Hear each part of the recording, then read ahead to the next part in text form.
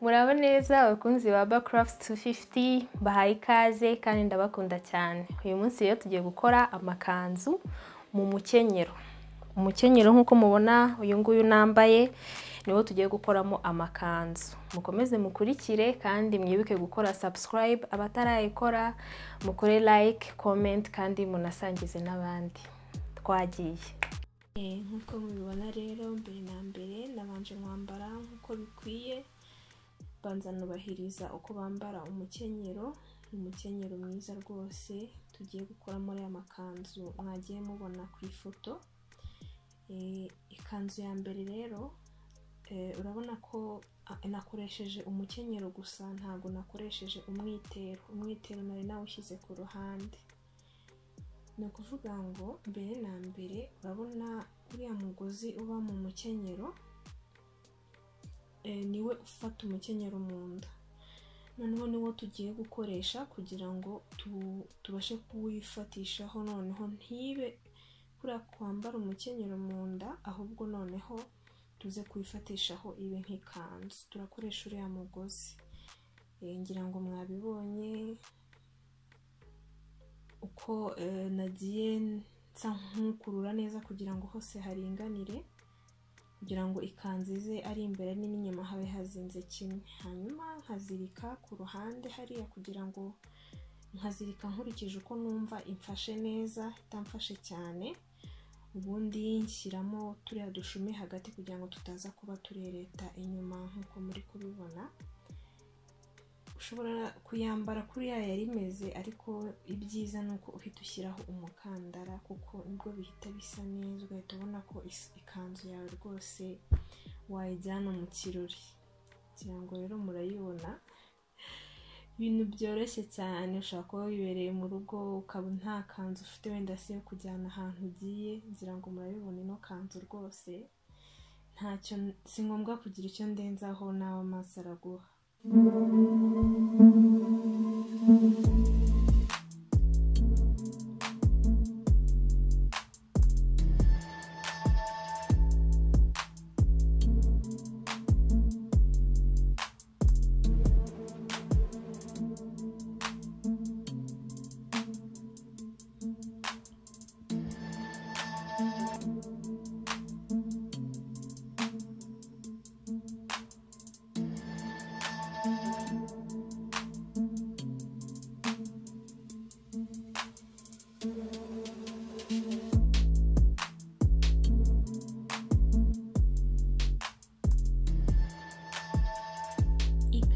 kabiri rero. Ikanzu ya kabiri yo nabanje nkuramo wa mushumi mu mukenyero kuko ntabwo turi buwukenere ikindi cyakurikiyeho nayicuritse. Ngira ngo murabona ko noneho tugiye kuwukoresha tuwucuritse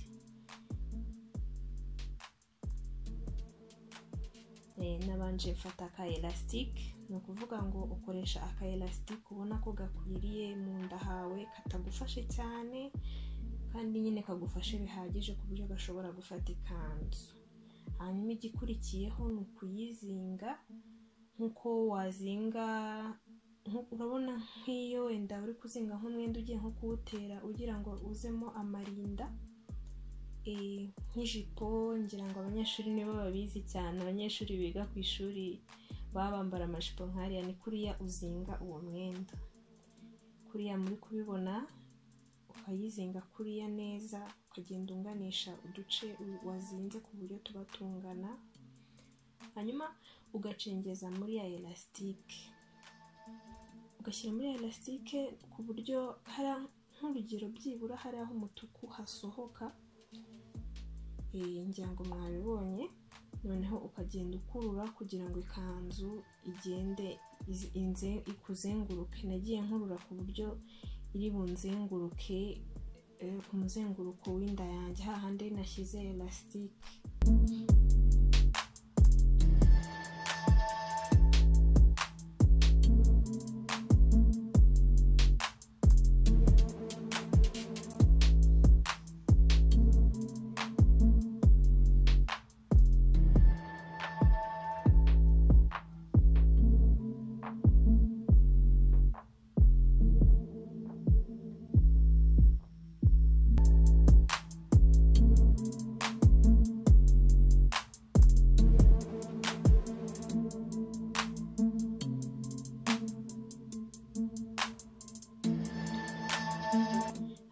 igikurikiraho ni ukuzamura ya kanzu wari waseye nk'aho wayizengurukijeho nk'ijipo ukayizamura noneho ugasa nk'uyikenyerera hejuru nk'uko aho ushobora kuba wakwambarira ikanzu iri gorge cyangwa se iyindi topu iyo ari yo yose iri gorge.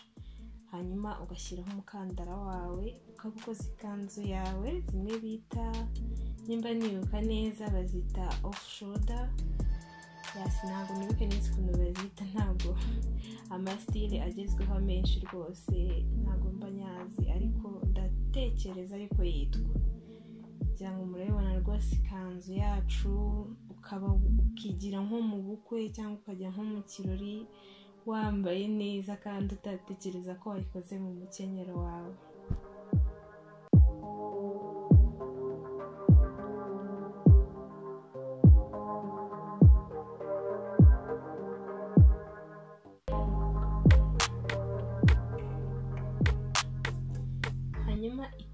Ya gatatu. Ikanzu ya gatatu yo irava mu ikanzu ya kabiri. Urabona nka kuriya twakoze ikanzu ya kabiri nta kindi uhinduraho uretse kuzamura noneho uruhande rumwe rukajya ku rutugu. Kugira ngo murabona ihita ikora iyindi kanzu itandukanye rwose n'iriya. Nta nubwo wamenya ko yavuye muri iriya.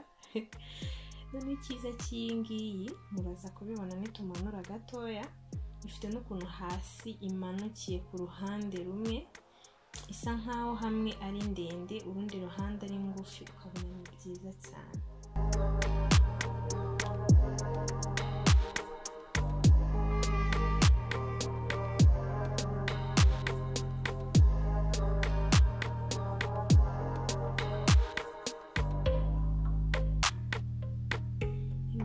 Rero kureba videwo yacu ndizera hari ubumenyi yabunguye ndizera abantu bakunda fashoni kandi rwose mukaba mukunda kuyikorera. Ndizera hano igisubizo gihari ntabwo wabura ikanzu rwose yo kwambara wifitiye umukenyero mu rugo hanyuma nyine iyo mwakunze ubwo mwandike nyine muri komenti muzitumenyeshe. Murakoze cyane purize mwibuke gukora sabusikarayibu